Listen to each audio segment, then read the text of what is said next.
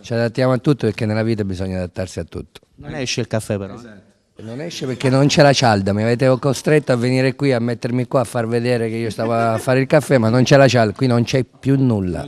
Finito. Quindi un po' chiuso, diciamo. Siamo chiusi.